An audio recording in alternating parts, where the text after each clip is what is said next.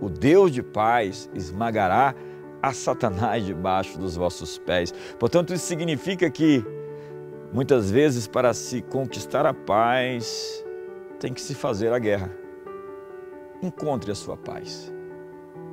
Porque é no vosso descanso e na vossa confiança que estará a vossa força. Você encontra a força quando descansa. A pessoa com maior autoridade e força é a pessoa com maior paz, com a maior pacificação interna.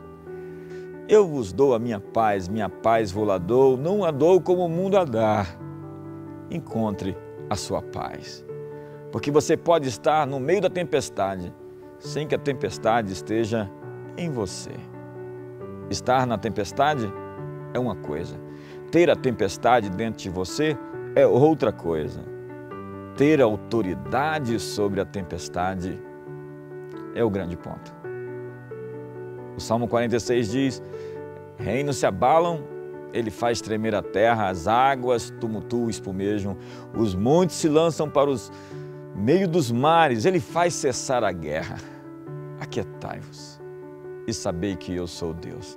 No meio dessa conflagração cataclísmica de dispersões, destruição, caos, surge uma voz que diz: Aquietai-vos, tende paz, aquietai-vos. E sabei que eu sou Deus, sou exaltado sobre a terra, exaltado nas nações. Ele faz cessar a guerra, quebra o arco, despedaça a lança, queima os carros no fogo. Ei, há um rio cujas correntes alegram a cidade de Deus. Deus está no meio dela e jamais será abalada. Deus a alegrará desde o nascer do dia.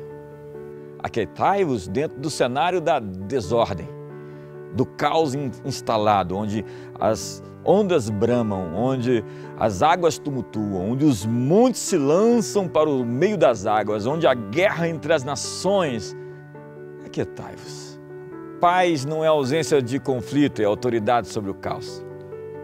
É quando, em meio à tempestade, você pode se erguer, se levantar e dizer ao vento: cala-te, ao mar, aquieta-te.